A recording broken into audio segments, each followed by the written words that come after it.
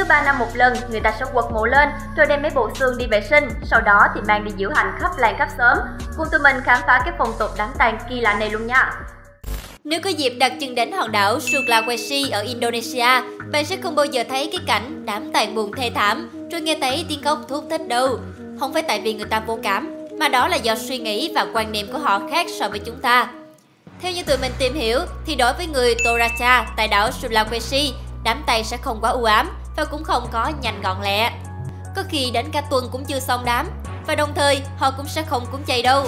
Người Toraja sẽ hì hục sấm lại, giết trâu bò và heo để tiến hành cúng kiến. Điều đặc biệt là những con vật này sẽ được kiểm tra sức khỏe rất là kỹ lưỡng trước khi mổ. Nào là đủ cân chưa, có bị nhiều mỡ quá không, thịt có già, có cứng quá hay không. Nói chung, cái đám tài được chuẩn bị rất là kỹ lưỡng và vui như lễ hội luôn. Và cái chỗ kỳ lạ nhất khiến cho cả thế giới ngạc nhiên đó là cứ đúng 3 năm họ sẽ lại quật một của những người đã mất lên, chăm sóc, cha rửa và thay áo mới cho họ. Những bộ xương này sau đó còn được diễu hành quanh ngôi làng như một phần của lễ hội Manene, nghĩa là vệ sinh xác chết. Lý do khiến cho người Toraja làm như vậy là vì họ tin rằng sẽ giúp linh hồn của những người đã khuất sẽ tỉnh dậy và có cơ hội gần gũi bên gia đình của mình, đồng thời sẽ ban phước lành và may mắn đến những người còn sống. Đối với họ, cái chết thực sự không quá đáng sợ, nó giống như ờ, đang sang một thế giới khác vui chơi, đi làm ăn, rồi 3 năm về thăm nhà một lần vậy đó.